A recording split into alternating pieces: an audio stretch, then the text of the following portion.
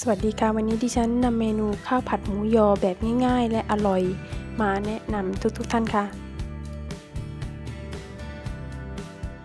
ก่อนอื่นให้คุณเตรียมในส่วนของหมูยอ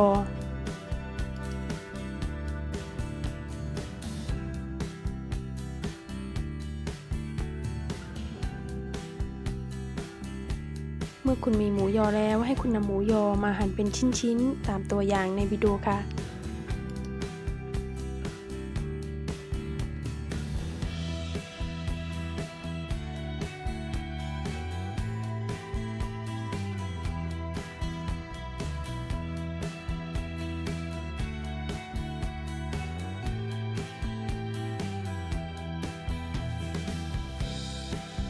ต่อมาให้คุณเตรียมในส่วนของไข่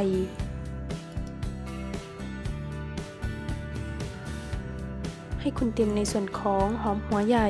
เมื่อคุณมีหอมหัวใหญ่แล้ว ให้คุณนำหอมหัวใหญ่มาปอกเปลือก ต่อมาให้คุณนำหอมหัวใหญ่มาหั่นเป็นชิ้นๆ ตามตัวอย่างในวิดีโอเช่นกันค่ะ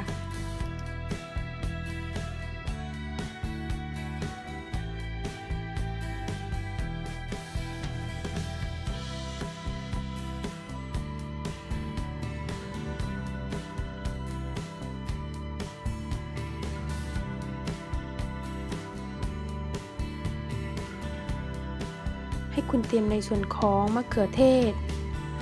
เมื่อคุณมีมะเขือเทศแล้ว ให้คุณนำมะเขือเทศมาหั่นเป็นชิ้นๆ ตามตัวอย่างในวิดีโอค่ะ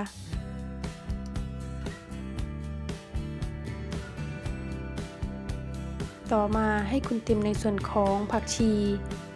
ดิฉันใช้ผักชีฝรั่ง เมื่อคุณมีผักชีแล้วให้คุณนำผักชีไปล้างน้ำ หลังจากนั้นให้คุณนำผักชีมาหั่นเป็นชิ้นเล็กๆ ต่อมาให้คุณเตรียมในส่วนของข้าวสวย เมื่อคุณเตรียมของทุกอย่างเสร็จเรียบร้อยแล้ว ให้คุณยกกระทะตั้งไฟให้ร้อน และให้คุณใส่น้ำมันตามลงไป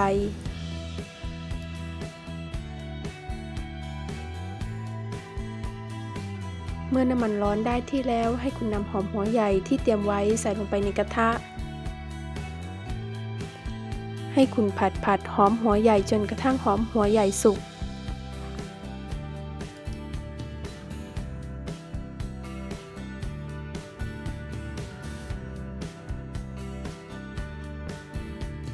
ต่อมาให้คุณใส่หมูยอที่เตรียมไว้ตามลงไป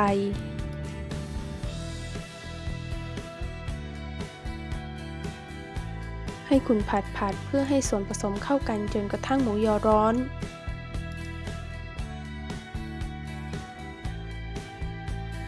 ให้คุณใช้ตะลิ้วนำพาส่วนผสมทั้งหมดไปไว้ด้านใดด้านหนึ่งของกระทะ ต่อมาให้คุณตอกไข่ที่เตรียมไว้ใส่ตามลงไป ให้คุณใช้ตะลิ้วยีๆเพื่อให้ไข่แดงแตก และให้คุณรอจนกระทั่งไข่เซตตัวเกือบสุก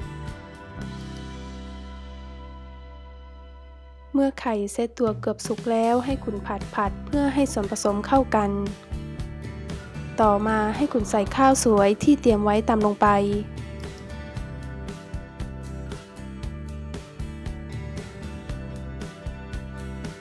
ต่อมาให้คุณผัดผัดเพื่อให้ส่วนผสมเข้ากัน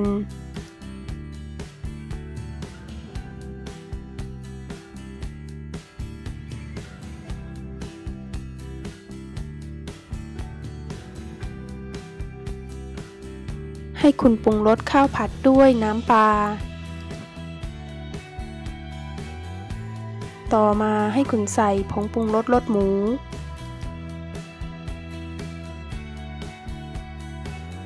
ต่อมาให้คุณใส่น้ำตาลทราย ต่อมาให้คุณใส่พริกไทยป่น เมื่อคุณปรุงรสเสร็จแล้วให้คุณผัดผัดเพื่อให้ส่วนผสมเข้ากัน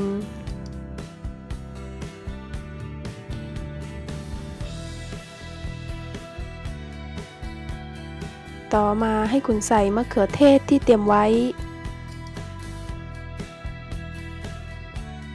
ให้คุณผัดผัดเพื่อให้ส่วนผสมเข้ากันจนกระทั่งข้าวดูแห้งๆ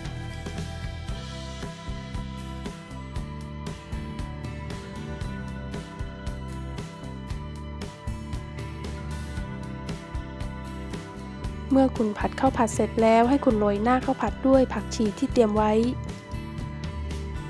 เมนูข้าวผัดหมูยอแบบง่ายๆ และอร่อยสำหรับวันนี้เสร็จเรียบร้อยแล้วค่ะ ดิฉันขอบคุณทุกๆทท่านที่รับชมวิดีโอนี้ ไว้พบกันใหม่วิดีโอหน้า สวัสดีค่ะ